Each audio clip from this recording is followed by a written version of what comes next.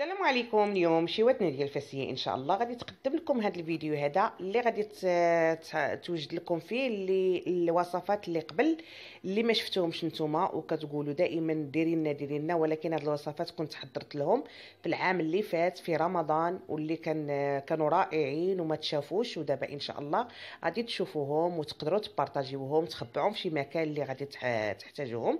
هاد الوصفات رائعين. آه راه غادي تلقاو الوصفات الوصفات ديالهم في صندوق الوصف وغادي تطبقوهم ورائعين منهم الورقة كيفاش كتخدم ومنهم أي حاجة والبسيطلات والملح والحلو. وكذلك بريوات ديال اللوز وكذلك البسطيلة وديال الكفته وديال الطون وديال الكروفيت. أي حاجة غادي تلقاوها هنايا غادي تطبقوها على ما يجينا إن شاء الله رمضان ونديروا شي حاجة جديدة. المهم الوصفات كلهم غادي تلقاوهم في صندوق الوصف. غادي منهم جميع الأشكال ديال هاد الأنواع اللي شفتوهم كلهم بالأسماء ديالهم. وكنشكركم على المتابعة والله يجيب سيدنا رمضان على خير والسلام عليكم ورحمة الله.